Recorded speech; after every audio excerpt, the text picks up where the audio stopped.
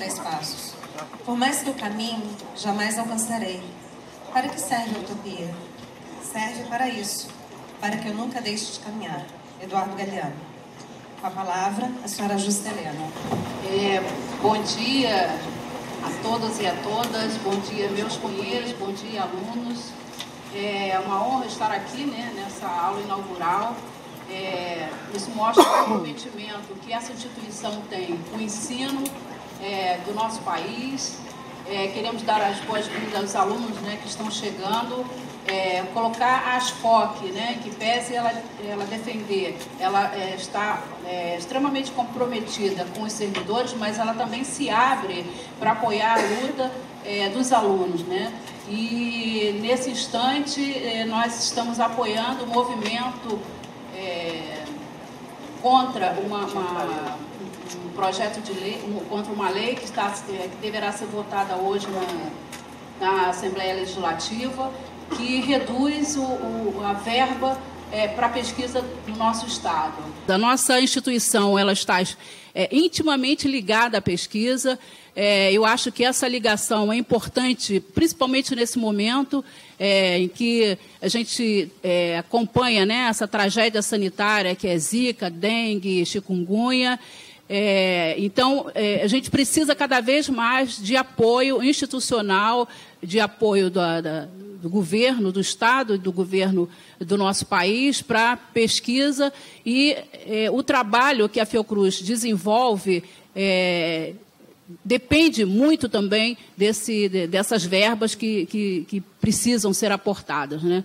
Então, é, hoje nós apoiamos esse movimento. É, dois ônibus estão seguindo para a LERJ, com alguns pesquisadores, com os alunos, é, com, com diretores também das FOC, para a gente fazer esse movimento em defesa das bolsas é, dos alunos né, que estão há dois meses, inclusive, sem, sem receber, é, e, mas é, num, numa defesa da pesquisa como um todo. É, novamente, quero dar as boas-vindas aos alunos, dizer que, assim, que será uma troca é muito interessante, né? Os alunos traz a juventude e a gente é, tenta passar um pouco das, das, nossas experiências, das nossas vivências, né? Do nosso conhecimento e, é, e nos colocar sempre à disposição para apoiá-los naquilo que for preciso.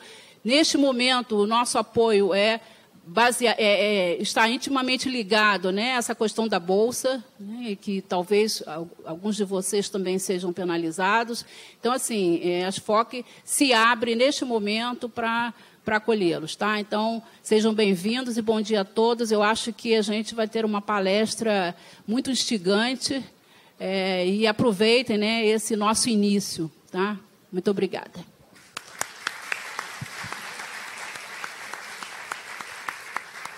Com a palavra, a professora Anísia Lima. Bom dia a todos e todas. É uma, sempre é um momento muito especial a abertura do ano acadêmico e ele sempre se realiza em contextos que vão além da agenda do ensino, né, sobre a qual eu vou falar um pouco brevemente antes da, da conferência do Eduardo. É, queria aproveitar para agradecer ao Eduardo Fagnani por ter aceito o nosso convite. É uma reflexão, acho que fundamental, no momento que nós é, estamos vivendo, pensar as relações entre saúde, desigualdade e projeto nacional. Né? Dizer, que nós estamos num momento de instabilidade política, de dificuldades, como a faixa do nosso sindicato expressa, e nós consideramos muito importante trazer esse tema antes da conjuntura política se apresentar com os elementos de gravidade que vem se apresentando nos últimos dias. Né? Mas, independente da conjuntura, eu acho que essa é uma agenda fundamental e que deve ser é, muito colocada agora no sentido da preservação é, de toda uma luta nossa por democracia, por direitos sociais, por política de ciência e tecnologia. É tudo isso que está em questão, mas quem vai falar muito melhor do que eu sobre isso será o Eduardo. Né? Então, eu queria, é, nessa fala inicial, sublinhar a importância é, desse tema e falar um pouco, atualizar a nossa agenda no ensino. É, infelizmente, Paulo Gadelha, presidente da Fiocruz, teve um imprevisto de agenda, não pôde estar aqui conosco, mas, em nome dele, eu queria cumprimentar a toda a nossa comunidade de estudantes, de professores, os coordenadores de pós-graduação, as secretarias acadêmicas, os nossos trabalhadores que contribuem, todos eles, para essa realização da Fiocruz, que nós pensamos também como uma grande escola, né, no sentido maior da palavra escola, uma escola de ciência, uma escola para a saúde, uma escola para a cidadania. Então, é, é sempre esse o tom da nossa aula inaugural. Queria agradecer aqui a presença de todos, eh, os diretores de unidade, meus colegas de vice-presidência, eh, mencionar uma presença também muito querida, que já foi vice-presidente da Fiocruz, Reinaldo Guimarães, muito bom ter você aqui hoje conosco, Reinaldo. E depois eu vou nomear os convidados também que vieram para compor a nossa comissão permanente de avaliação, a, a quem eu queria também agradecer. vou nomeá-los depois, durante essa breve introdução. É, pode começar, Cláudio. Então, assim, é, eu queria, nesse momento das aulas inaugurais, nós sempre nos preocupamos em atualizar a agenda, né? Os compromissos que nós temos no sentido é, do que é pactuado nas diversas instâncias, na, nas unidades, no Conselho Deliberativo, é, no Congresso interno. Então, nós sempre promovemos essa atualização de agenda para que isso seja compartilhado com a nossa comunidade.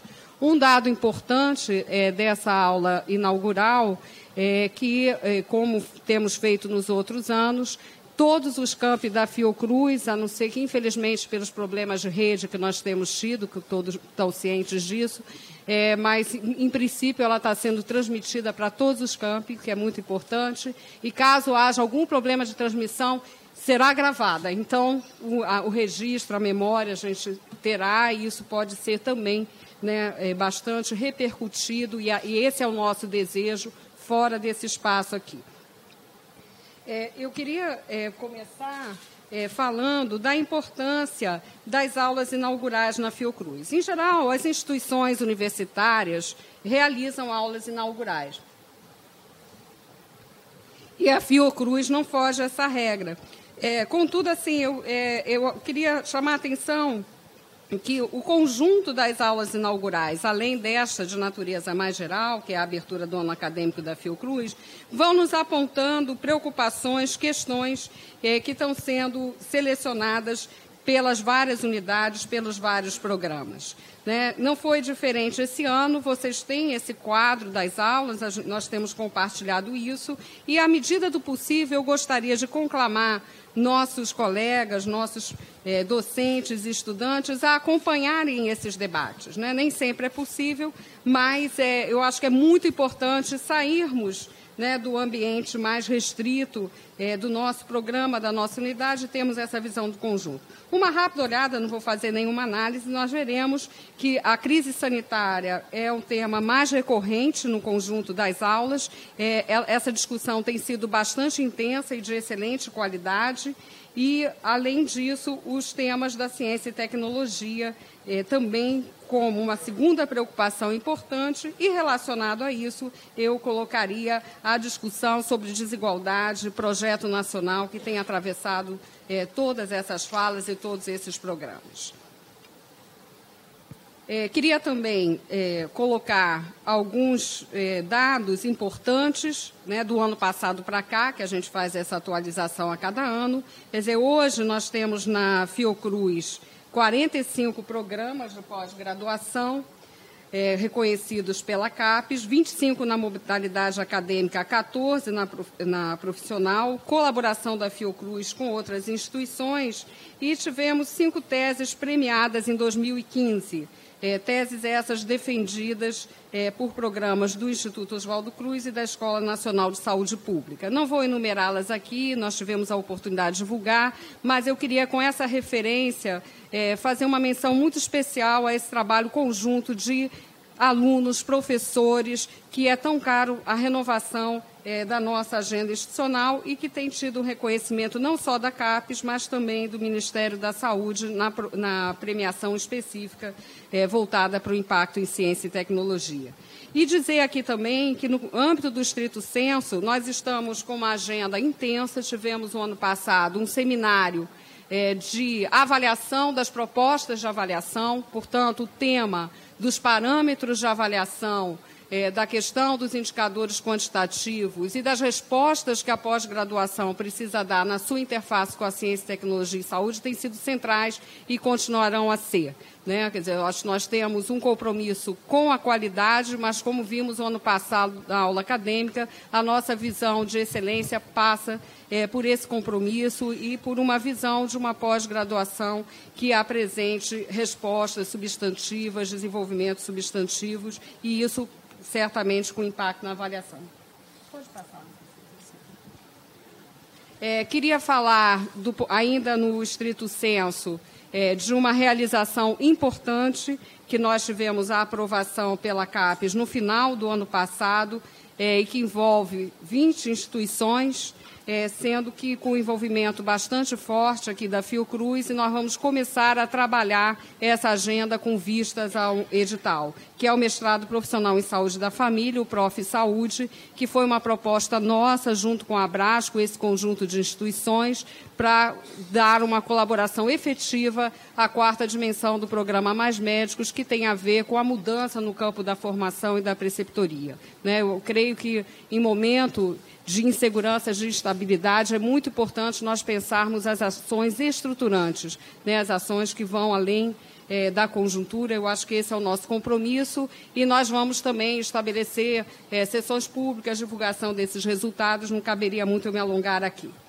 É, queria também falar da importância das iniciativas da pós-graduação no Lato Senso, né, com formação é, tradicional na Fiocruz e com uma ampliação nas nossas unidades. Né, os dados depois nós vamos compartilhar.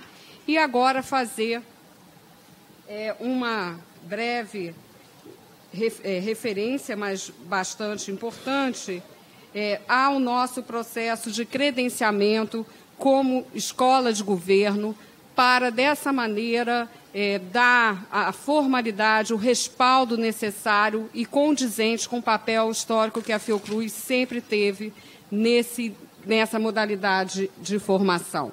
Né? Nós estamos, é, vivemos um processo muito intenso desde 2011, é, diante das dificuldades junto ao Conselho Nacional de Educação é, do reconhecimento das instituições não, é, não, universitárias na oferta de cursos de especialização e a partir de um trabalho conjunto de todas as unidades, de uma atuação muito intensa da Câmara Técnica de Ensino, é, conseguimos, numa primeira etapa, é, reforçar a ideia e documentar da legalidade da nossa oferta e estamos, nesse momento, é, com um passo importante para o credenciamento efetivo como escola de governo, que vai anteceder uma visita do INEP né, como Instituto de Avaliação do Ministério da Educação nesse nível. Então, nesse momento e hoje também, é, nós estamos dando posse à nossa Comissão Permanente de Avaliação, é, voltada para o lato senso, né, com foco, foco no lato senso, mas que vai estar é, tendo uma visão também integrada, conjunta da nossa instituição.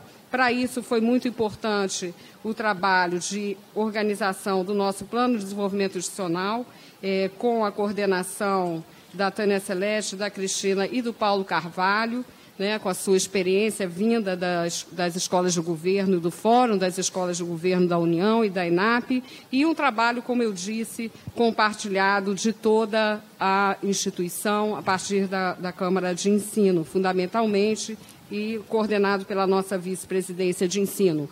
É, queria também aproveitar para informar a todos, porque esse é um assunto que preocupa todas as unidades, é, que esse processo acho que está bastante avançado dentro daquilo que a gente informou a, a Câmara Técnica. Nós vamos estar divulgando amplamente também na instituição esses passos e queria fazer uma referência à importância de, do credenciamento unificado, referindo-me também especialmente à Escola Nacional de Saúde Pública, que conseguimos uma convergência nesse momento final, né, o quase final, ainda não final, né, Tânia?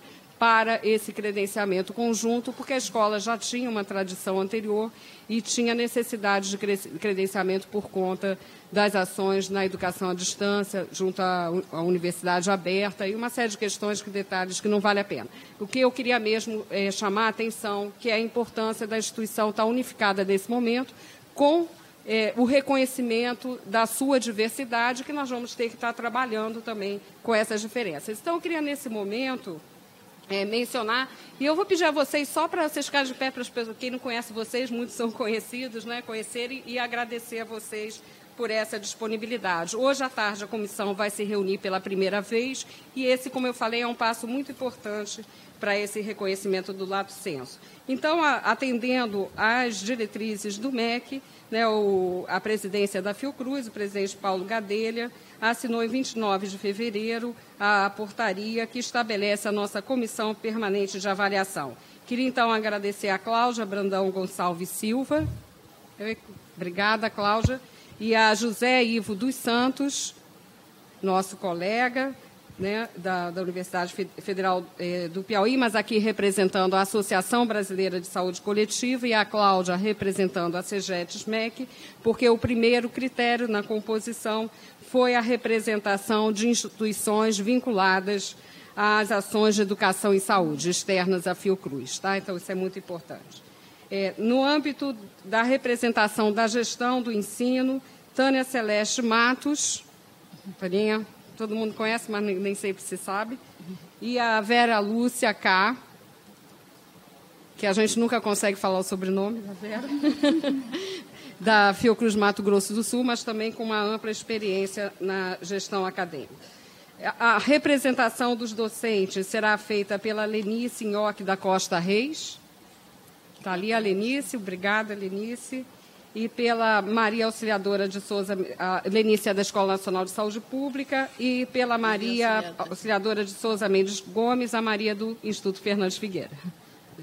É, no âmbito da representação do setor técnico-administrativo, Geise Francisco da Silva, obrigada, Geise, Geisa, e Leda Zoraide de Oliveira, tinha visto a Leda mais cedo, não estou vendo. Ah, está ali, está ali a Leda. Né, também agradecer a vocês, como representação de estudantes e egressos, porque no caso do Lato Senso nós sempre é, trabalhamos muito com uma temporalidade diferente, Alex Bica Correia e Luciane, Luciene Esteves da Silva. Né? Alex está aqui, aqui e a Luciene não, acho que não está aqui agora, deverá se incorporar ao nosso debate depois. É, agradecer à Associação de Pós-Graduação por ter colaborado conosco nessa indicação. E, como representação da sociedade civil organizada, eu queria agradecer muito ao Haroldo Jorge de Carvalho Pontes, do Conselho Nacional de Saúde, também nosso companheiro de vários trabalhos, e ao André Luiz da Silva Lima, que é do Conselho Comunitário de Manguinhos. Tá? É, a Tânia Celeste fará a, o trabalho da coordenação dessa, de presidência dessa comissão, que se reunirá hoje à tarde. Tá? Então, eu queria uma salva de palmas aí para a comissão.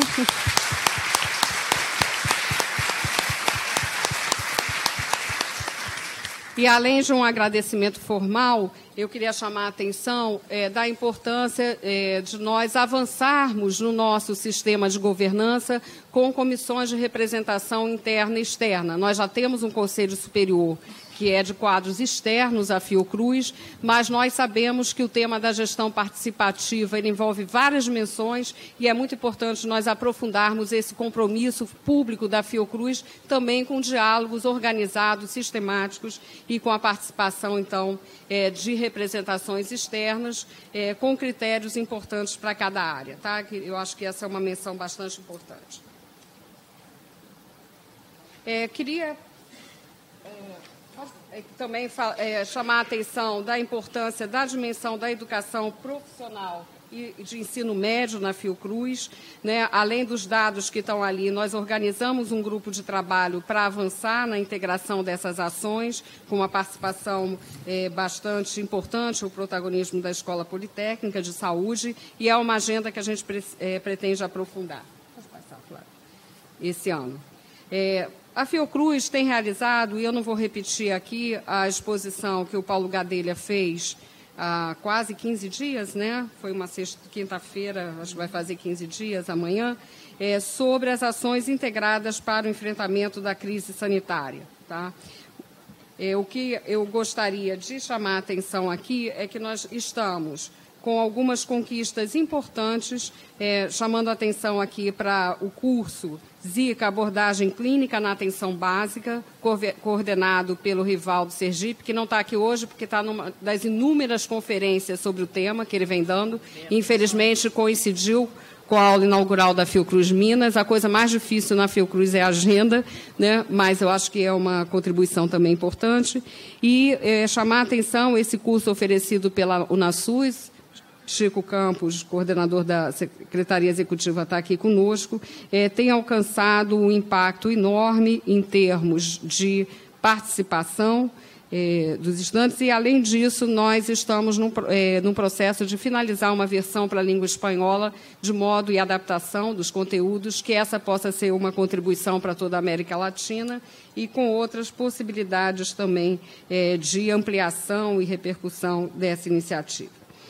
É, nós estamos trabalhando com uma disciplina compartilhada da pós-graduação, envolvendo o que nós temos chamado tríplice epidemia, uma série de módulos pensados no âmbito é, da, da, nossa, do nosso programa de valorização da atenção básica é, também na atenção especializada, o Instituto Fernandes Figueira tem se dedicado a pensar modos para contribuir para uma situação tão grave como essa das mães né, e das crianças portadoras de más formações.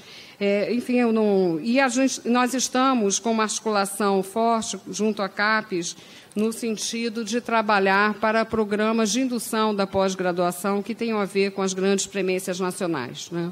É, ontem eu falei com o diretor de avaliação e há, claro, dentro dessa situação que nós estamos vivendo, a expectativa dos recursos que serão liberados para esse enfrentamento, para que a CAPES é, defina quais serão essas induções e já claramente colocado o papel que a Fiocruz precisa ter né, e deve ter, né, deve ter nesse contexto. É, queria também é, colocar para vocês. Pode passar, favor é, que o ano passado nós tivemos num período difícil, que foi o período de greve, né? É, a realização do Seminário Educação, Saúde e Sociedade do Futuro, é, o relatório que demorou a, a, ser amplamente divulgado em função das várias atividades que ali ocorreram, vai estar sendo disponibilizado logo. Né? mas eu queria chamar a atenção de como nesse seminário a convergência entre é, as diretrizes que vinham sendo discutidas na Câmara Técnica de Ensino, é, a possibilidade de pensar a educação é, também num processo que não seja é, externo à, à reflexão é, sobre como se dão os processos formativos. Né? Há uma tendência a gente avaliar a educação, às vezes, com indicadores hoje, que são os indicadores de produção científica, né, ou outros indicadores, números de egressos, e pouca atenção sobre a prática educacional, e foi exatamente esse o foco numa sociedade em que as redes de sociabilidade, o papel da comunicação se alterou radicalmente. Então, foram contribuições muito importantes, é, estão todas elas disponíveis, e nós vamos estar fazendo, então, uma reflexão crítica de todo esse processo a partir desse relatório e deixando disponível. É, não menos importante, eu queria mencionar aqui o portal dos periódicos Fiocruz. Né? São sete periódicos científicos, é, Memórias do Instituto Oswaldo Cruz, Cadernos de Saúde Pública, História, Ciência e Saúde Manguinhos, Educação, Trabalho e Saúde, Revista de Ciência, Informação e Saúde, a RECIS, né? a gente acaba falando mais a sigla, é, a revista Fitos, a Visa em Debate, não sei se eu esqueci alguma, se eu esqueci. Dos que eu falei, Recis, não esqueci nenhuma, que bom. É, então, assim, eu queria falar da importância que tem sido essa experiência, porque é, nós estamos num momento de restrições é o apoio da ciência e tecnologia, como a faixa que expressa, no caso da FAPERJ. É, nós temos uma riqueza de comunicação científica na instituição, mas isso não, muitas vezes não consegue o compartilhamento adequado. Então, com esse fórum, nós temos discutido, e junto também ao fórum é, de pós-graduação em saúde coletiva da Brasco, é, novos parâmetros para pensar a comunicação científica, é, uma visão crítica com relação a indicadores tradicionais como fator de impacto, uma visão de como está pensando a integridade em pesquisa, como dar instrumentos né, para os nossos periódicos nesse sentido. Então, eu queria agradecer a todos os editores também né, que, que estão aqui e colocar que nós temos tido várias linhas importantes sendo divulgadas no, no, no, portal, convidar vocês a acessarem mais, a nos provocarem também com temas. Esse trabalho tem sido coordenado pelo Carlos Machado, pelo Homem Homem e pela Ana Furniel, né, com a participação da Flávia como jornalista, e assim é muito importante que nós tenhamos esse feedback. Queria aproveitar, ela hoje não pôde estar aqui porque está viajando, mas é, fazer um, um, agradecimento a uma das editoras que deixou a editoria dos cadernos, que é a Cláudia Travassos, então pediria aos editores, já, no caso a, a Calu, né, que transmita a ela esse agradecimento e a nossa ideia é que também os editores possam contribuir nesse processo. Né? É, por fim, é, eu queria dizer a vocês que a ideia de fazer, como a gente sempre faz, esse balanço inicial não é para ser exaustivo. Nós temos vários desafios importantes esse ano. É, um ano é, que eu não queria usar novamente a palavra dificuldade e queria substituí-la pela ideia é, de um compromisso com o adensamento da discussão é, aqui na Fiocruz e pública né, sobre os rumos da ciência e tecnologia e das ações de ensino né, e de informação e comunicação nessa vertente, é, no sentido de fortalecer é, e de criar uma agenda e uma unidade na nossa instituição em torno, eu acho que principalmente do título muito bem escolhido pelo nosso conferencista Eduardo Fanhani. Né? Quer dizer, a gente está trabalhando a luta por garantir nossas conquistas né, no plano de pensar a questão da, da superação das desigualdades, da saúde, né, do projeto nacional e da democracia. Né? Não está no seu título, mas eu tomo a liberdade de incluir também, Eduardo. Então, assim, uma excelente aula. É, peço desculpas pelo tempo, eu nunca gosto de falar muito, mas nós achamos importante atualizar né, toda a nossa comunidade por isso. Desejar um, um ano acadêmico positivo para nós né, com essa agenda que é tão importante e que é uma agenda que vai necessariamente é, colocar a Fiocruz num diálogo cada vez mais intenso com o Conselho Nacional de Saúde, né, aproveitando, eu acho que, né, eu acho que essa, todas essas questões colocadas aqui são agenda do Conselho Nacional de Saúde, com as instituições é, universitárias e de pesquisa no país, com a sociedade civil, é, e transformar o máximo possível né, nossa instituição é, no sentido de que ela tenha espaços de discussão pública em que a gente possa estar compartilhando essas agendas e buscando garantir aquilo que foi tão caro à, à, nossa geração. Por fim, eu queria fazer uma referência que eu também acho muito importante ao professor Luiz Rei. Né, o professor Luiz Rei nos deixou há pouco. Na aula inaugural do Instituto Oswaldo Cruz, ele foi mencionado pela Maria, nossa representante da Associação de Pós-Graduação, como um pesquisador que todo dia animava os estudantes, conversava com os estudantes.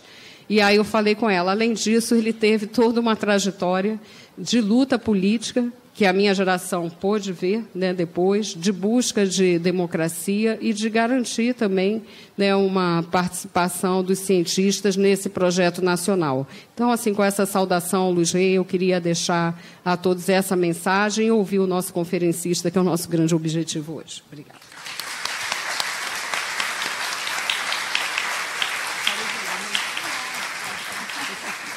Neste momento, a mesa de abertura se desfaz. Eduardo Faiani possui graduação em Economia pela Universidade de São Paulo, mestrado em Ciência Política pela Universidade Estadual de Campinas e doutorado em Ciência Econômica pela Universidade Estadual de Campinas. Atualmente é professor do Instituto de Economia da Universidade Estadual de Campinas, pesquisador do Centro de Estudos Sindicais e do Trabalho e coordenador da rede Plataforma Política Social, Agenda para o Desenvolvimento. Convidamos o professor, Eduardo Faiani para dar início à sua conferência Desigualdade, Saúde e Projeto Nacional.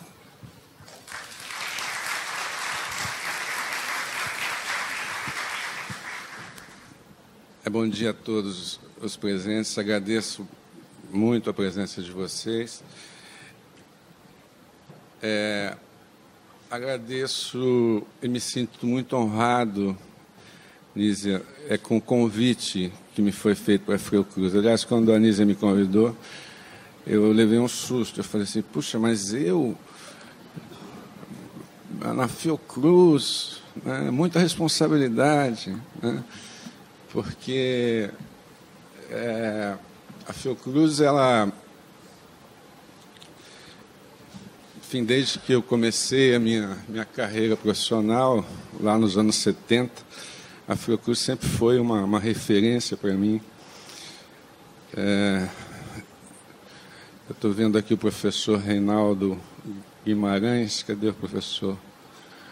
Eu me lembro de um texto que me parece que foi o senhor que escreveu em 1978, que, que é quase que o SUS, né, uma, uma, versão inicial do SUS, é, escrito em 1978. É, me disseram que, não, é, se eu não me engano, foi o senhor, o professor Ezio Cordeiro e o Fiore. Né? Então, foi um texto que é, um prenúncio do SUS, lá em 1978, é, a influência do Sérgio Aloca na minha formação, ainda estudante, ainda na época de vocês, foi fundamental. Né?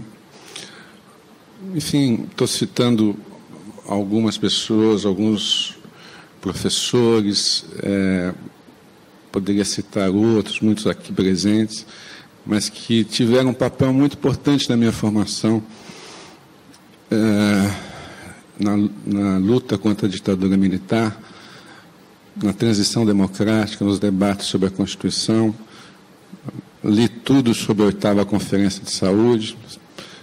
É, e depois, na luta, a Fiocruz não só teve esse papel na ditadura, na transição, mas também é, na defesa da cidadania social nos anos 90, nos anos 2000 e é, na atualidade. Né? Então, realmente, quando eu digo que eu me sinto honrado, não é uma figura de, de retórica, realmente eu me sinto muito honrado estar aqui. Eu encontrei agora o Zé, o Zé, o Zé Guilherme e falou, o que, que você vai falar? Né? Quando a Anísia me convidou, faz mais de um mês atrás, eu tinha que falar alguma uma coisa. Hoje a conjuntura mudou totalmente. Enfim, o, o fato é que a gente vive uma, uma gravíssima crise política preocupante. Eu me formei em 1975, estudei durante a ditadura. Uma grande parte da minha juventude foi durante a ditadura. E nessa altura da minha vida, eu jamais achei, imaginei que hoje eu tivesse que defender a democracia e a legalidade. Mas esse, infelizmente, é o quadro. Agora, isso não pode servir como dar uma chacoalhada nas nossas ideias, né? Estou falando do ponto de vista de quem está fazendo a reflexão acadêmica, etc mas isso não pode servir, evidentemente, é, como algo paralisante. Né? Pelo contrário, acho que agora é o momento da gente enfrentar essa luta. Então, é, é, vocês sabem, o mundo vive uma onda conservadora, o Brasil vive uma onda conservadora. É, o que eu acredito que seja um pouco a nossa tarefa hoje, é, é primeiro é fazer é, a resistência. Né? Nós temos que exercer resistência.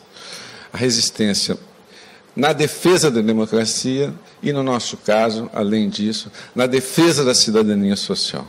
Né? Então, por um lado, isso. Acho que nós temos que ter uma estratégia de resistência, porque hoje há no Brasil, no mundo, mas no Brasil também, é, é, por conta da crise política, etc., um avanço da agenda liberal conservadora muito forte. Né? Eu vou fazer referência disso aqui, mais à frente. Então, nós temos que ter algumas referências para defender é, essas, essas, essas questões. Em segundo lugar, nós temos que também já pensar, do meu ponto de vista, é muito difícil falar. É, realmente, eu, a minha cabeça é difícil, é difícil organizar as ideias quando a conjuntura muda a cada momento. Né? Mas, do meu ponto de vista, é, além de, de, de, de, resistir na defesa da democracia, na defesa é, das conquistas sociais que esse país alcançou nos últimos, nos últimos 20, 30 anos, a partir da Constituição de 88. Né? Por um lado, nós temos que fazer isso, por outro lado, nós temos que é, apontar para o futuro. Quer dizer, eu, do meu ponto de vista, eu acho que um determinado ciclo, um ciclo político, um ciclo, ele acabou. Né? É, e nós temos que pensar, desde já, construir um novo projeto né, de refundação, inclusive, é, do setor progressista, da esquerda, etc. Então, eu, a minha fala, é, espero que eu possa modestamente é, contribuir é, nessa direção. Né? Por isso, essa ideia de um projeto nacional. A ideia do projeto nacional. Quer dizer, é, nós deixamos de pensar em, num projeto nacional. Né? É, eu cito, eu estava olhando aqui o caso da China. A China, em 1900 e evidentemente que não podemos nos comparar à China, mas só para para ter uma ideia, em 1978 a China desenvolveu uma estratégia de desenvolvimento em, em três estágios. 1987, o primeiro estágio era dobrar o PIB chinês é, em 1980. Eles, o segundo estágio era, eles conseguiram fazer isso na, em 1980, na década de 80 mesmo. O segundo estágio era é, quadruplicar o PIB até o PIB de 80 até 2000, fizeram isso. E o terceiro passo foi aumentar o PIB per capita é, para os níveis dos países de desenvolvimento até 2050. Né? Em 1990, a China era a décima economia do mundo, hoje é a segunda, em 2030 vai ser a primeira. Que eu estou dizendo aqui não, não, não, se aplica ao Brasil, é outra circunstância, etc. Mas estou mostrando a importância de um país ter um projeto nacional. Não estou discutindo se o projeto é bom ou se é ruim, mas eles tinham um projeto nacional. Em 20 anos nós vamos ser a segunda economia do mundo, e em 30, 40 anos vamos ser a primeira economia do mundo, e direcionaram todos os seus é, os seus esforços né, com esse objetivo. No Brasil, enfim, nós, nós tivemos, assim, pensamos em projetos nacionais na década de 50, começo dos 60, né, a influência da escola da CEPAL. Qual era o projeto naquele momento? O projeto era transformar o país de uma economia agrária numa, numa economia industrial. Tá certo? Esse era o projeto, com erros e acertos, etc. Isso foi feito né, com plano de metas, com o JK, etc.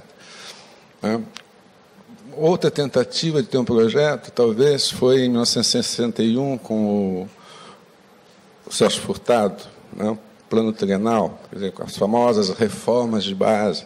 Se vocês forem ver quais são as reformas de base, elas são absolutamente atuais até hoje. Né. Depois, talvez, o grande projeto, a ideia de projeto que nós tivemos, foi, foi em 88. Né?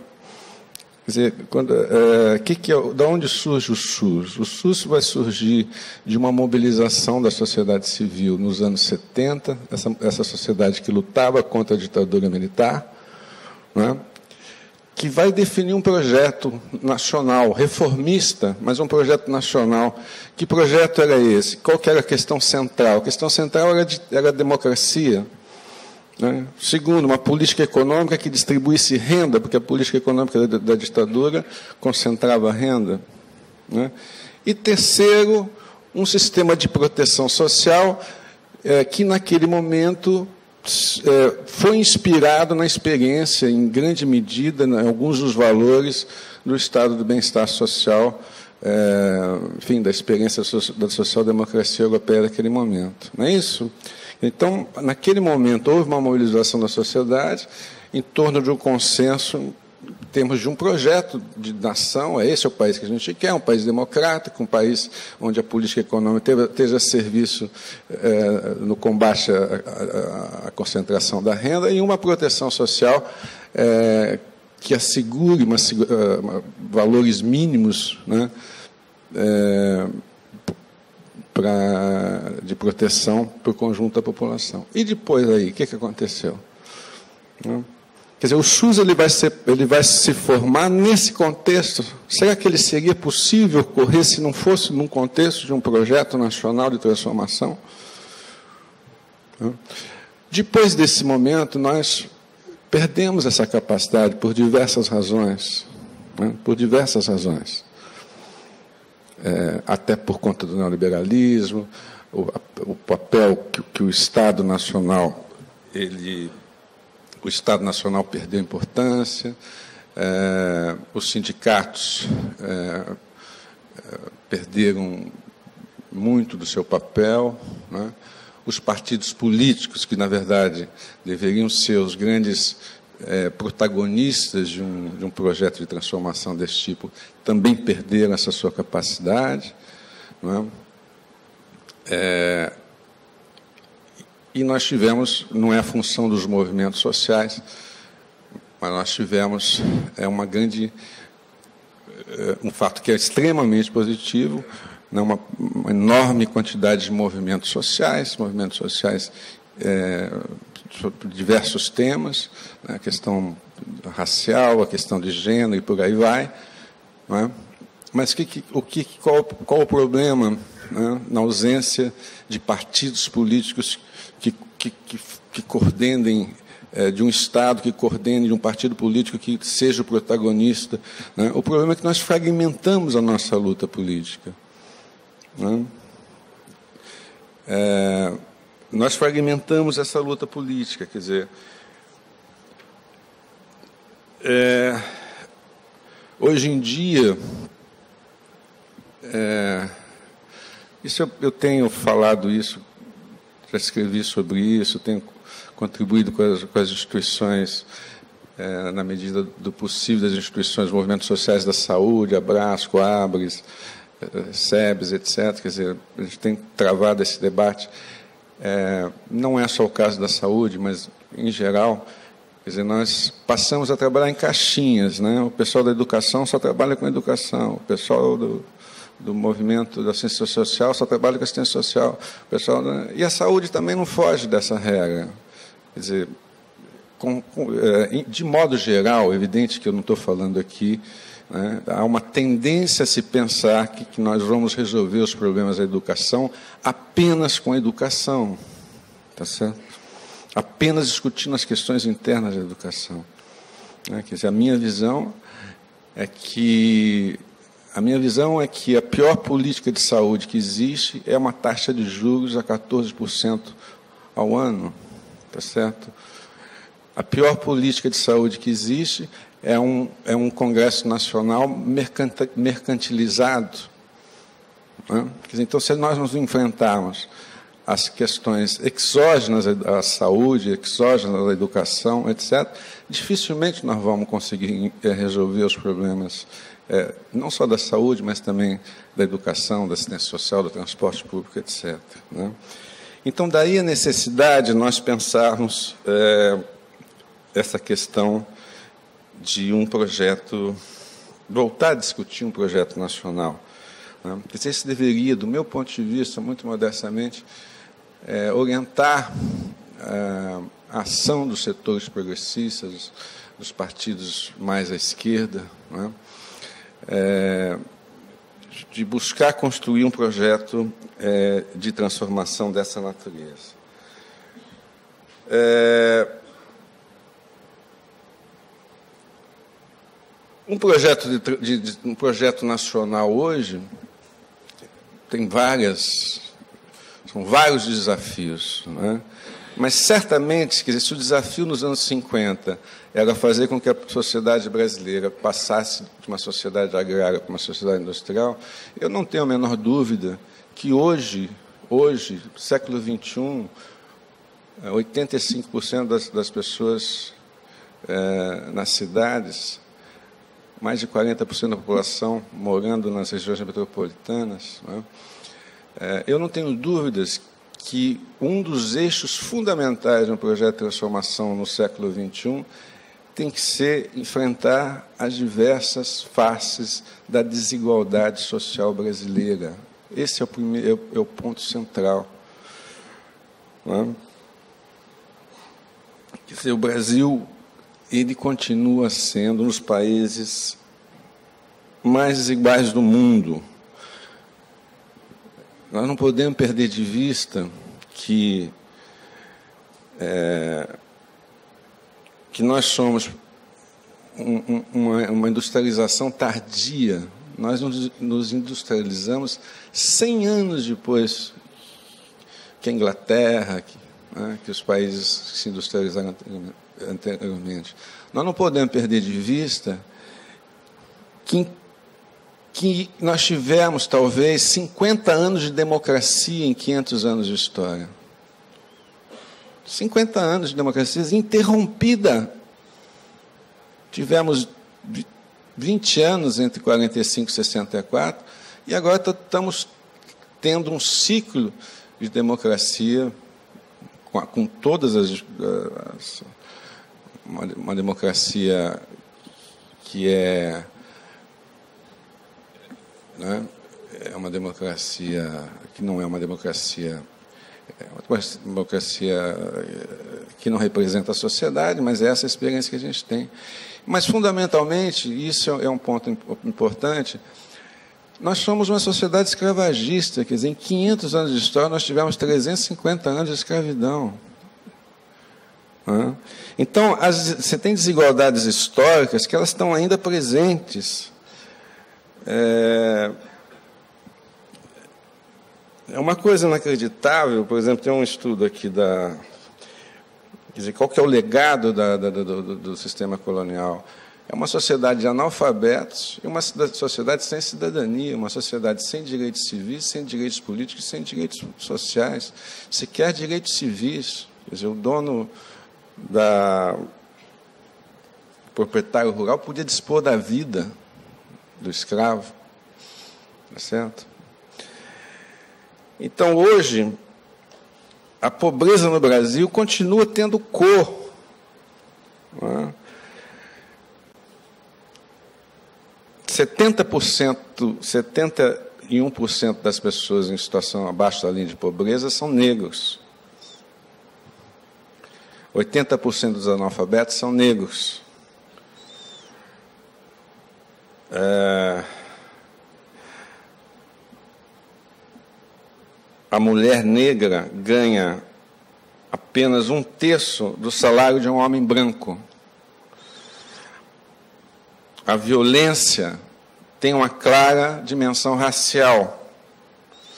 No Rio de Janeiro, 80% das vítimas de homicídios de intervenções policiais são negros. São dados da Mapa da Violência, da ONU. Nós somos uma face da desigualdade social brasileira. No mapa de mais de 85 países, nós somos o pior, terceiro pior país no ranking de mortes de adolescentes. Perdemos só para o México e El Salvador. Em média, no Brasil, morrem 10 adolescentes são assassinados por dia. Mas morrem sete negros para cada branco. No Maranhão morrem 13 negros para cada branco. O último mapa da violência da mulher que saiu agora mostra que a questão da violência da mulher, nós somos a quinta pior posição num grupo de 84 países. Estamos atrás de El Salvador, Colômbia, Guatemala. Nossa a taxa de mortalidade por homicídios femininos no Brasil é 48 vezes maior que o Reino Unido. E o interessante, entre 2003 e 2013, o assassinato de mulheres brancas caiu 10%. Mas o assassinato de mulheres negras subiu 54%. Esse é um mapa da fome que acabou de sair. Portanto, é, o primeiro objetivo, eu acho, um dos objetivos centrais no projeto de transformação é enfrentar as desigualdades. Tem essas desigualdades históricas que têm a ver com esse nosso passado, né? é, mas essas são apenas uma das faces da desigualdade. Quer dizer, a, a ideia central, nós tivemos aqui um. Tivemos recentemente um progresso social importante, vários indicadores sociais melhoraram, isso é inequívoco, etc. Né?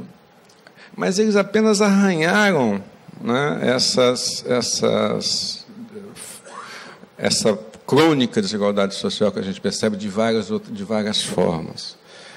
É? Então, vejam, um primeiro objetivo estratégico de um projeto de transformação, do meu ponto de vista, é preservar as conquistas sociais que nós fizemos recentemente. Tá? Houve, foram feitas medidas importantes, nós criamos 22 milhões de, de postos de trabalhos formais, o salário mínimo aumentou, reduziu a desigualdade da renda do trabalho, enfim, a pobreza caiu, etc. Nós temos que preservar isso. É importante deixar muito claro é o seguinte: a melhor política social que existe chama-se emprego. Certo? Então nós não podemos, por conta de opções macroeconômicas muito discutíveis, né, acabar né, com essa, com, com retroceder, especialmente na questão do emprego. O segundo objetivo estratégico de um programa de, de transformação que enfrente as questões das desigualdades sociais é a defesa intransigente da Constituição de 88, que hoje está ameaçada.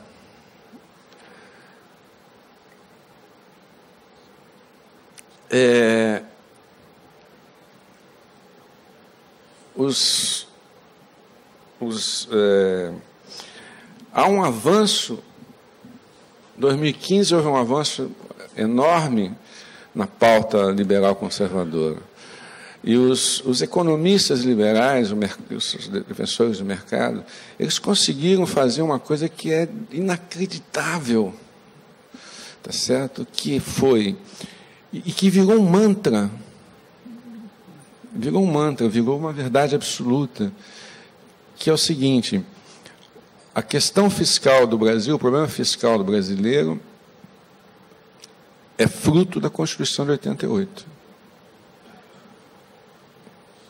A ideia é que os gastos obrigatórios crescem muito mais, é, tem crescido numa taxa muito grande. Né? Então, economistas como Samuel Pessoa, como Alexandre Schwartzman, como Marcos Lisboa e outros de, de, dessa corrente de pensamento conseguiram, Mansueto de Almeida e tal, eles conseguiram vender uma ideia que é o seguinte: eu não vou fazer ajuste fiscal, eu não vou estabilizar a dívida pública se eu não rever o pacto, pacto social da redemocratização. Isso virou uma senha né? Quer dizer, eles se esquecem que a Constituição de 88 né, foi a primeira vez na história desse país que você é, houve um desrepresamento é, de injustiças seculares. Né? Foi a primeira vez, por exemplo, que o trabalhador rural passou a ter os mesmos direitos do trabalhador urbano. Foi a primeira vez que o trabalhador rural passou a ter a, a mesma saúde do trabalhador urbano, a mesma previdência do, do, trabalhador urbano. Foi a primeira vez que nós tivemos um, um sistema de proteção ao desempregado. Foi a primeira vez que nós tivemos é, um sistema é, de, de, assistência social como benefício de prestação continuada, que beneficia hoje 5, 6 milhões de famílias que, é, é, que ganham menos de um quarto de um salário mínimo. É? é evidente que os gastos cresceram. Não, como é que pode ser diferente? Tá certo? Mas é, foi um momento de irrupção de um, de um, de um, de um represamento que durou quase cinco séculos. Né? Então, a pergunta que se faz é: as demandas sociais da democracia não cabem no orçamento?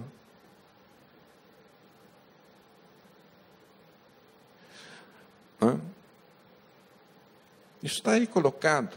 Se vocês lerem um documento do PMDB, que é uma coisa inacreditável, que eles chamam de plano Temer 1, se eu não me, Temer, se não me engano, é o vice-presidente da República, é, mas é, eu não sei se ele é o vice-presidente da República, que ele é, mas tem um plano Temer, que foi feito um documento chamado Uma Ponte para o Futuro, que é uma ponte para o século XIX.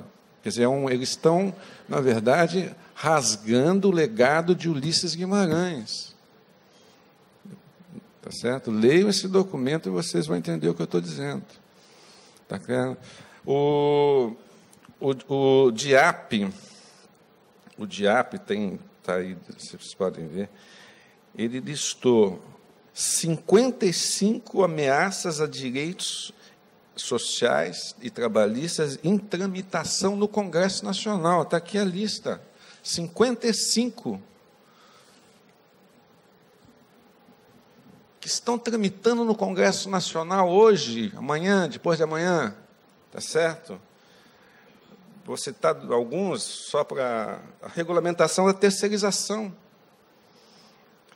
Redução da idade para início da atividade laboral de 16 para 14 anos.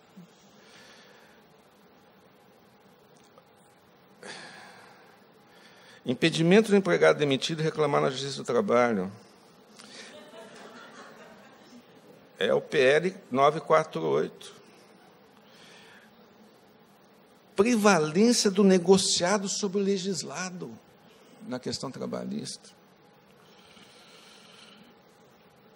Regulamentação da emenda 81 2014 do trabalho escravo, com supressão da jornada exaustiva e de trabalho degradante. Extinção de multa de 10% das demissões sem justa causa. É, regulamentação da compra de terras por, por, estrangeiros. Eu não entendo desse tema, me parece que é uma, uma loucura essa coisa de uh, a abertura total das terras do Brasil para os estrangeiros. Aí tem coisas na área econômica, instituição do limite da despesa com pessoal, regulamentação e retirada dos direitos de greve dos servidores, PL 710. Fim da exclusividade da Petrobras da exploração do pré-sal, está aí, já está acontecendo. Independência do Banco Central. Privatização de todas as empresas estatais, se não me engano, está sendo votado hoje, é o PL 555. Alteração do Código Penal sobre questão do aborto, criminalizando mulheres e profissionais da saúde, PL 5096.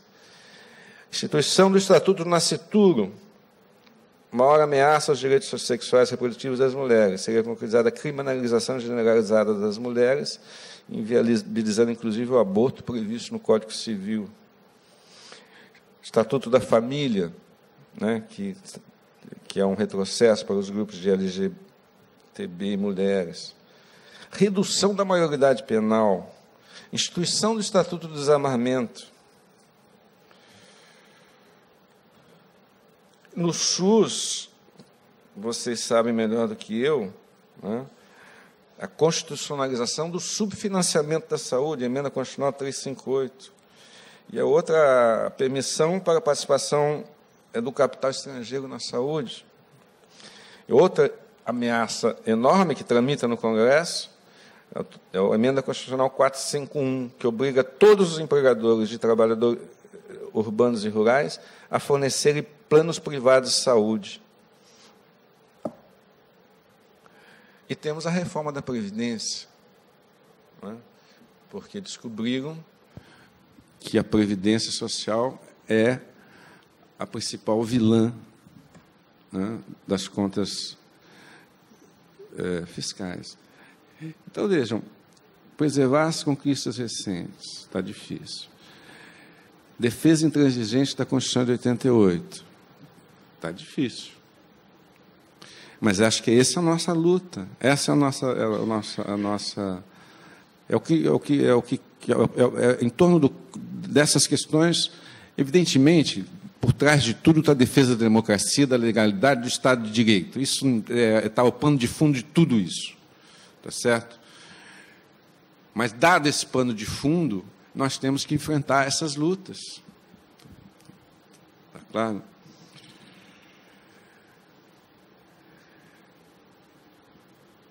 O terceiro objetivo estratégico de um, de um, projeto, de um projeto nacional é enfrentar as desigualdades da renda de patrimônio.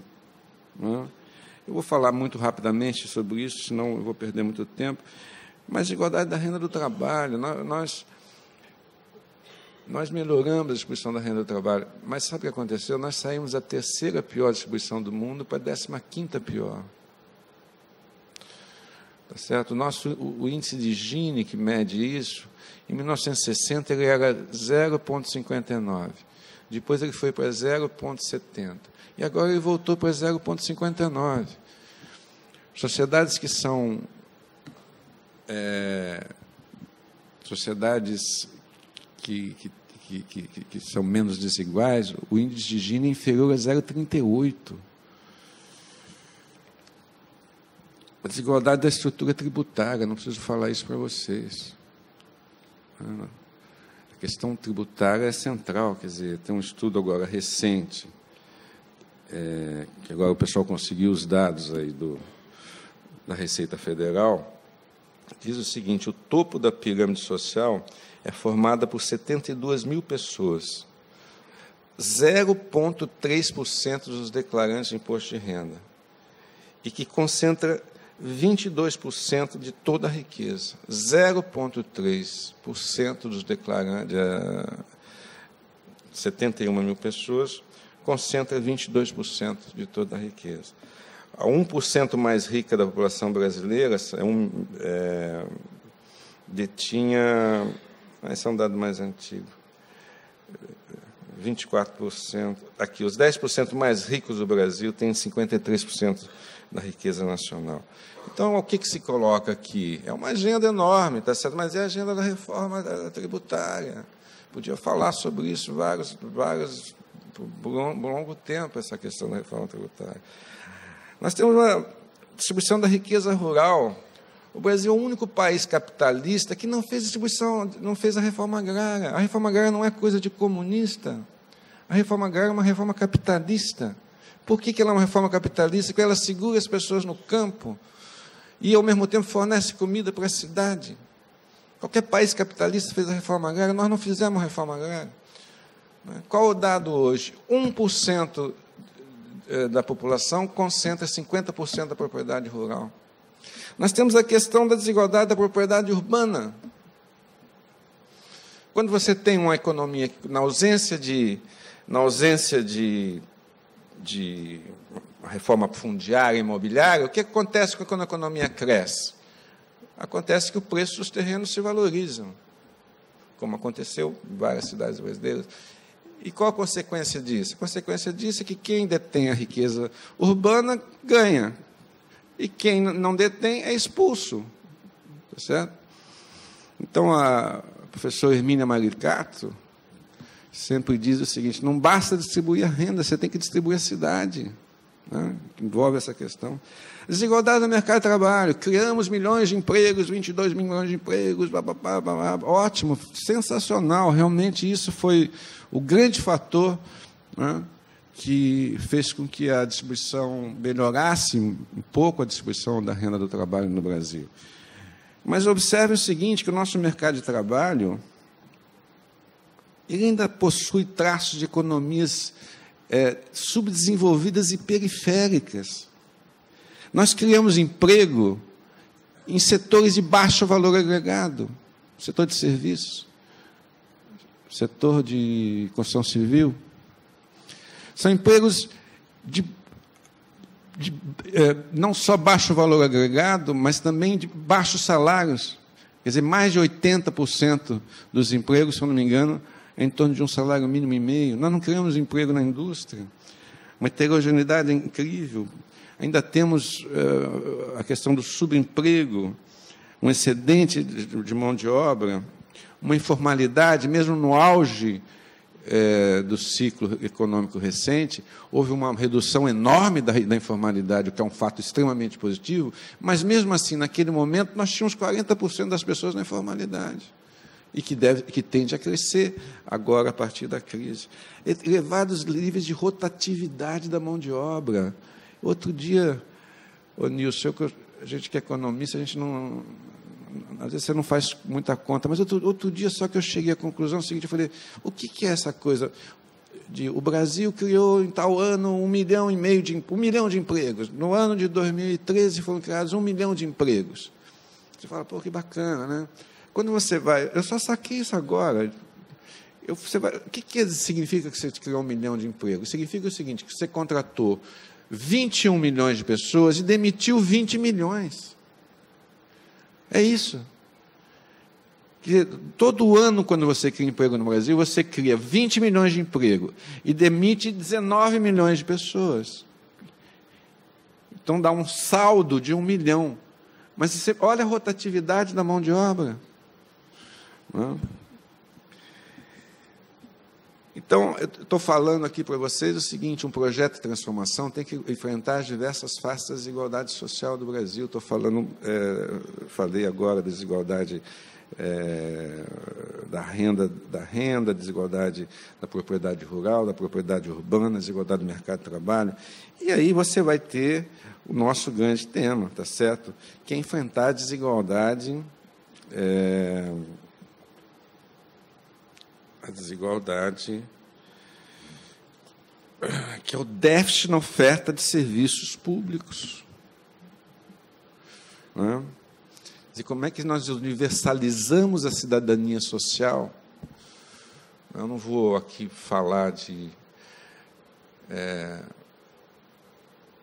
nós, a Constituição brasileira define que saúde, educação, mobilidade é direito do cidadão e dever do Estado. Mas entre o que está na formalmente inscrito e, e, e a realidade não é essa, tá certo? Nós temos enormes vazios, é? É, tanto do ponto de vista entre classes sociais e na, na distribuição regional. É? Eu não vou é, vou falar vou, vou poder falar de todos os temas, senão eu vou tomar muito tempo de vocês. Mas vou pegar o tema urbano. Né? Eu sei que amanhã o Centro de Estudos Estratégicos da Fiocruz vai fazer um debate sobre saneamento e a relação do saneamento com, com, com Zika. Né? Trazer aí o Léo Heller, que é um excelente pesquisador. A questão é a seguinte: o saneamento básico, eu vou dizer uma coisa para vocês: o Brasil nunca teve uma política nacional de saneamento. Nunca.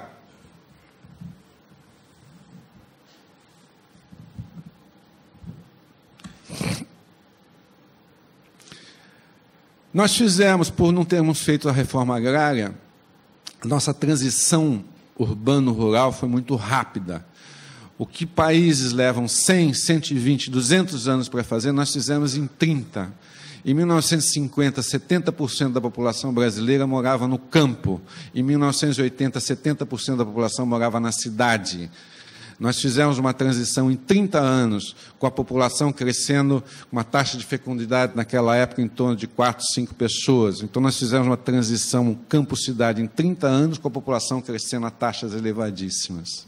Tá certo? E nós nunca tivemos políticas urbanas de habitação popular, de saneamento ambiental e de mobilidade que fosse compatível é, com a violência e com, a, e com esse acelerado processo é, que significou essa pressão sobre as cidades. Tá certo? Não, a ditadura tentou fazer políticas nessas três áreas, é, em habitação, saneamento e, e, e, transporte público, mas o que acontece? É, a partir dos anos 80, com a crise que você tem, esses, essas, essas tentativas são é, se esgotam, é né, uma crise financeira muito grande, e a perspectiva que você vai ter para os anos 90, tanto em saneamento quanto em transporte público, é o quê? É a privatização. Aqui no Rio de Janeiro, vocês têm o privilégio de ter um metrô privatizado e um, uma rede de subúrbia supervia privatizado. Eu não conheço isso no mundo. A Argentina, nos anos 90, fez isso e reestatizou. A Supervia, 25 anos depois da privatização, ela transporta o menor número de passageiros do que a rede ferroviária federal transportava em 1998. É assim que nós vamos resolver o problema do transporte público no Brasil? Saneamento básico. O que, se fez nos anos 80, nos anos 90 e, e, e também nos anos 2000? Privatiza. Mas privatiza o quê? Privatiza o filé mignon. Vou privatizar cidades ricas, com mais de 100 mil habitantes, do, do Sudeste. O osso, ah, deixa para o Estado que, que fizeram no Amazonas? Privatizaram Manaus. E o resto do estado do Amazonas? Ah, deixa para a concessionária estadual fazer. Não é à toa que hoje, hoje no Brasil, nós temos 45% da população brasileira com rede que moram apenas 45% que moram em casas com rede de coleta de esgoto século 21.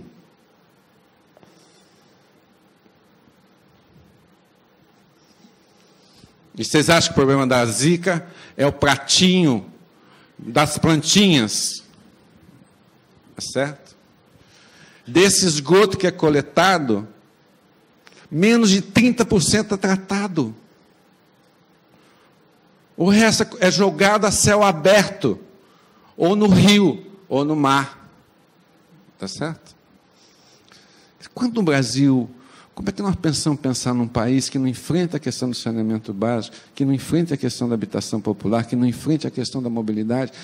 Eu comprei, quer dizer, eu acho bacana bicicleta, ciclovia, acho bacana. Uma vez eu escrevi um artigo, comprei uma briga enorme com os, motor, com os ciclistas, eles quase me lincharam na rede social, tá certo? Não farei mais isso, acho que é que tem que ter ciclovia, tem que ter bicicleta, tem que ter tudo isso, mas é, tem que ter transporte de massa de alta capacidade, pelo amor de Deus. Nós não podemos achar que nós vamos solucionar o problema do transporte de público com bicicleta, carros ciclistas. Pô, eu também, quando tomar vergonha na cara, vou começar a andar de bicicleta, mas, mas não dá.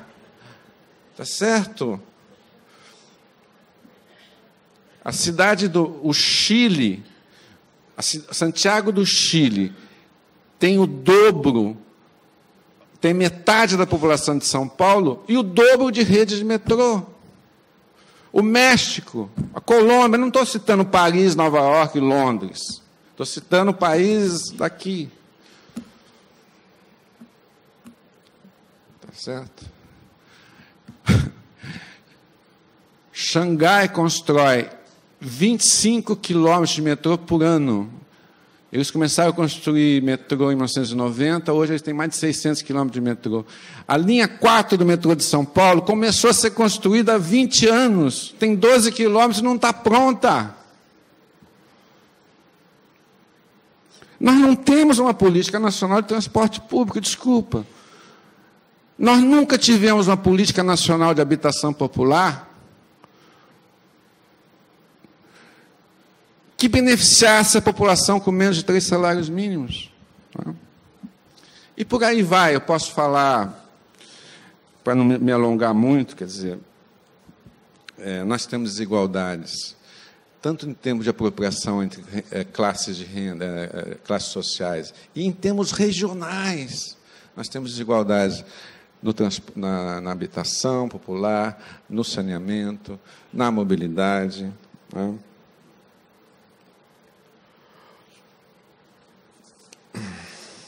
Avançamos muito na educação.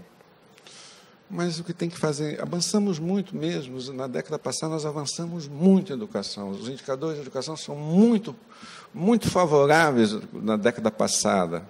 Só vocês verem aí a PNAD. Tá certo?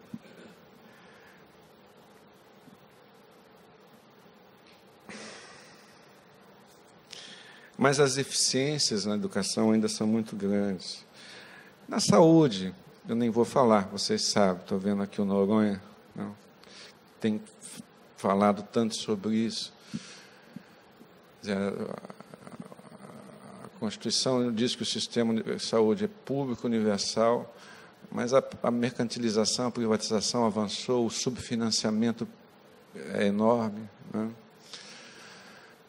É, a Seguridade Social e a Previdência. Né? Simplesmente o que acontece no Brasil é que as pessoas não cumprem a Constituição.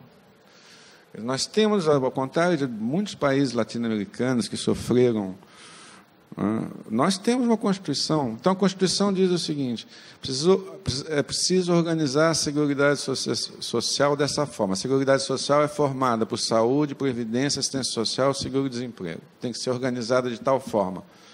Nunca ninguém organizou.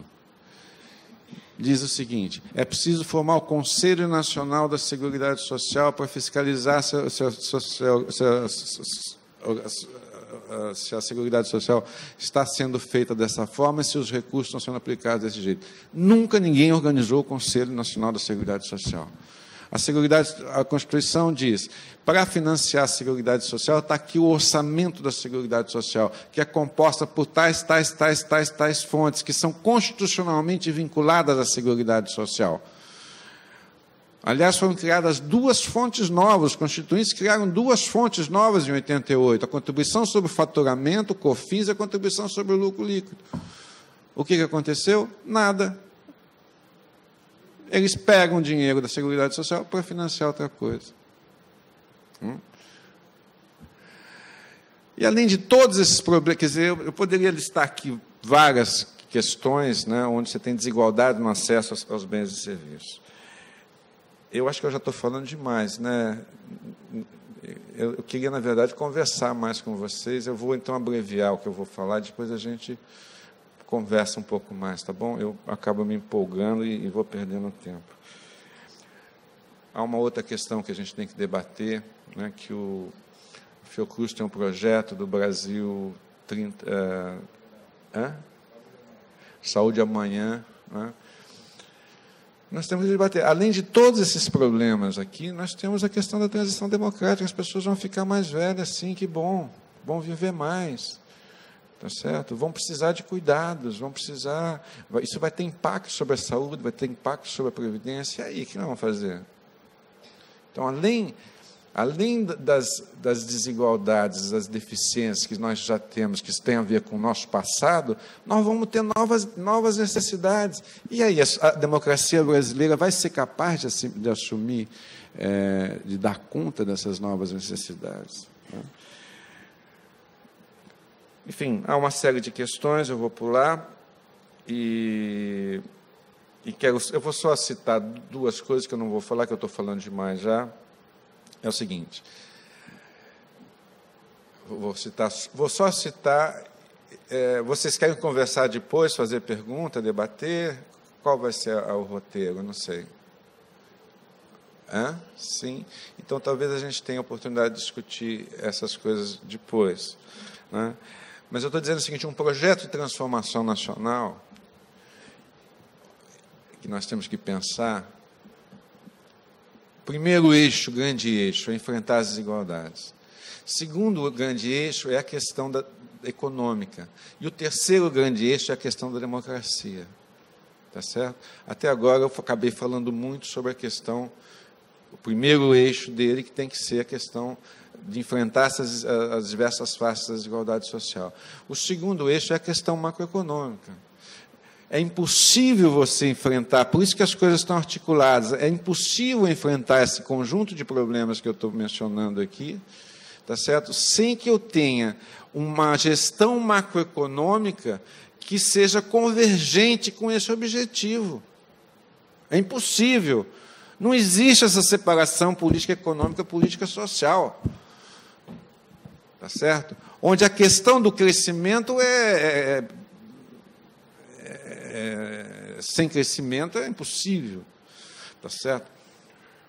Eu não, eu não vou poder aqui avançar, mas passa eu vou, quero só destacar uma questão, se vocês tiverem depois interesse em discutir, eu posso discutir, mas a questão do crescimento é central. E a outra questão, gente, é o seguinte: é, se não for possível acabar, suprimir, porque a correlação de forças é absolutamente desfavorável, nós temos que, pelo menos, que flexibilizar esse tal desse tripé macroeconômico. Isso é um ponto central, tá certo? Porque o tripé macroeconômico, que é Banco Central independente, o Banco Central só tem uma, uma é, o tripé é o seguinte: meta de inflação. A inflação tem que ser 4,5%. Muito bem. E quem que avalia isso? O Banco Central independente. Dependente do dependente. O Banco Central é independente. Você retira da sociedade a discussão sobre o que é central no debate econômico. A sociedade não interfere, o Banco Central é que decide. E o Banco Central no Brasil só tem uma missão, que é fazer a inflação vir para o centro da meta. E ele só tem uma bala, que é aumentar a taxa de juros.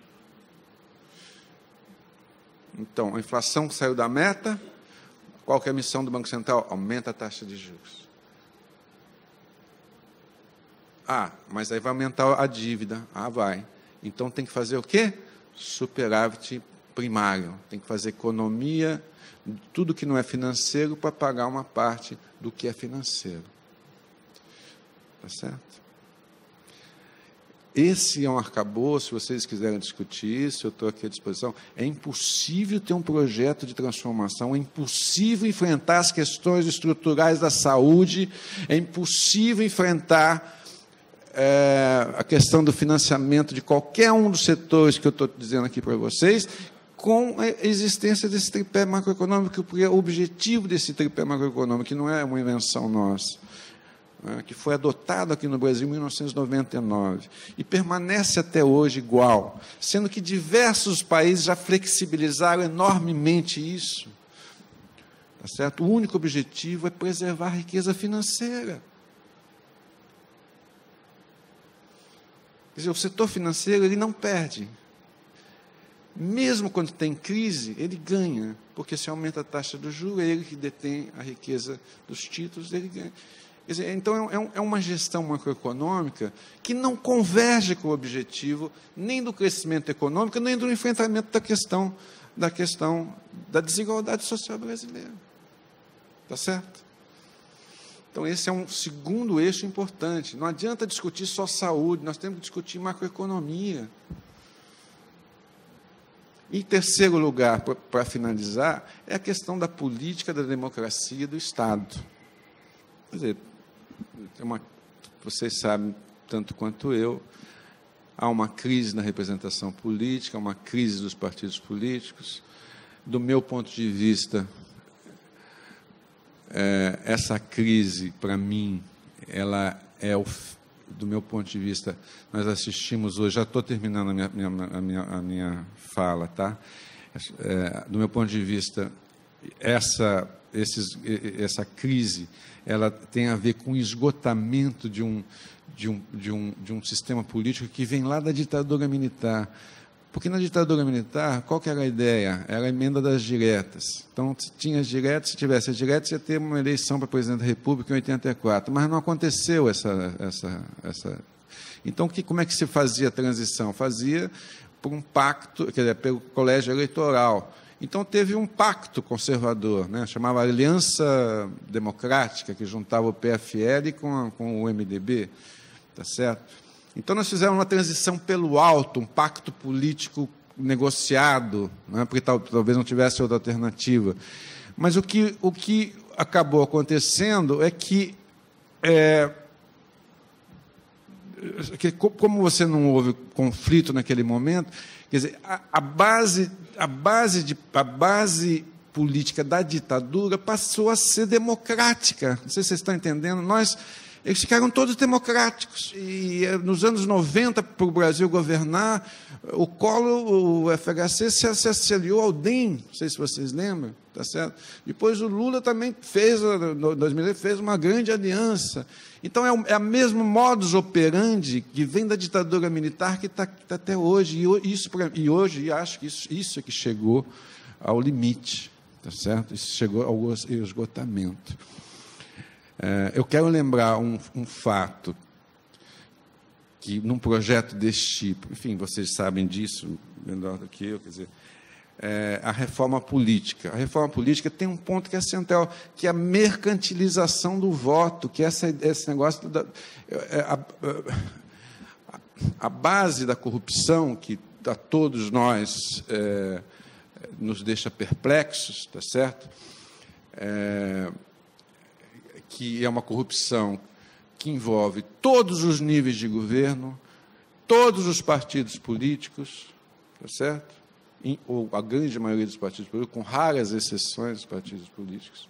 Né? Do meu ponto de vista, está ligado a essa, a essa forma de se fazer política que vem desde é, da ditadura militar, mas também está ligado à questão da, da, da, da, da, da financiamento privado das campanhas. Né? Então, nós vamos ter um problema que, é o quê? Que é a questão da, da mercantilização do voto. O Silvio Caçababa escreveu um artigo muito interessante um tempo atrás, onde ele faz uma, uma, faz uma análise da bancada do Congresso que foi eleita em 2015. Então, ele diz assim: a bancada, a bancada ruralista, ou seja, são, são, são pessoas que foram financiadas pelo agronegócio. É composta por 374 deputados federais, de 23 partidos. Depois vem a bancada dos bancos, 197 deputados, que se distribuem em 16 partidos.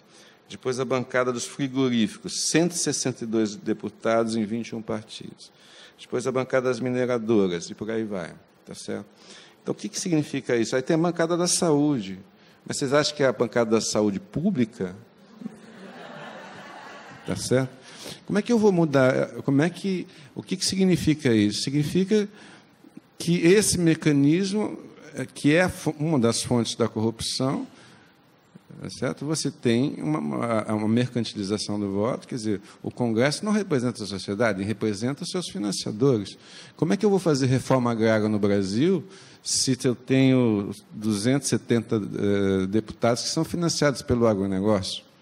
Como é que eu vou eh, eh, enfrentar as grandes questões estruturais do SUS se eu tenho não sei quantos deputados que são bancados pelos planos privados de saúde?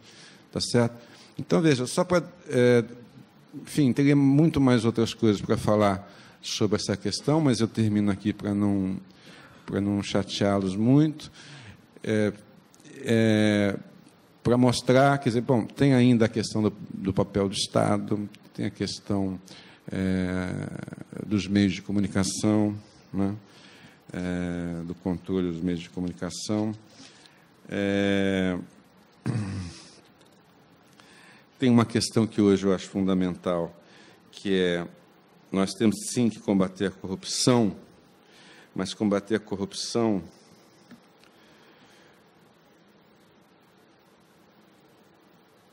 é, ela tem que ser depende de uma investigação independente, justa e sem orientações personalistas ou políticas partidárias. Não se pode transgredir o Estado de Direito. Não se pode abrir mão do respeito aos direitos e garantias fundamentais, tais como o devido processo legal, a ampla defesa e a presunção constitucional do Estado de inocência, conquistas da humanidade.